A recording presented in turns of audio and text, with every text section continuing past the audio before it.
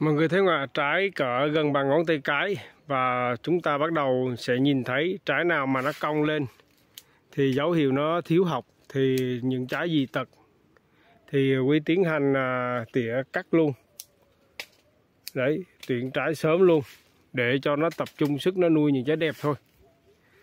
Đấy trái nào mà học nó không đều mà nó dịnh lên nó thiếu thì ta cắt luôn bởi vì hiện nay là một chùm nó đang đậu rất là nhiều. Đấy. Mấy trái nhỏ đều phía sau rồi sớm muộn nó cũng đẩy rụng.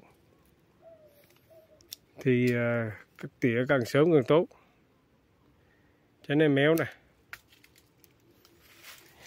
đấy, mình tuyển sớm được thì để tập trung sức nó nuôi những trái tròn. Đó là lý do tại sao à, quý sẽ tuyển cho đến khi ờ, trái gần bằng trứng ngọng nha mọi người nhé bây giờ có thể nó nó nó tròn như vậy nhưng mà ít bữa nó còn ờ, nó còn giật học nó méo rồi tùm lum nữa.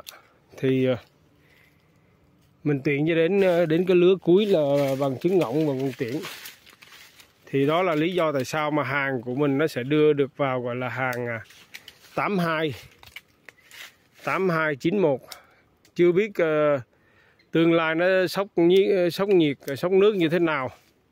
Thì mình cố gắng duy trì việc sốc nước thôi là mình phải tưới đều.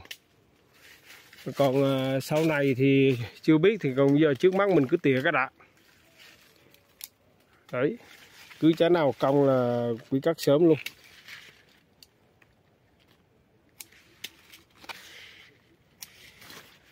Cho nên mọi người đừng có sợ bởi vì sớm muộn nó cũng đẩy thì thay vì để nó tự đào thải thì chúng ta thải dùm nó. Nha mọi người nhé chúng ta chỉ chừa lại cho đẹp thôi. Cái đẹp mà nhìn dáng nó đủ học. Nhưng mà một chùm như vậy mình cứ chừa lại năm, bảy trái 10 trái thì dần dần là mình tuyển lần.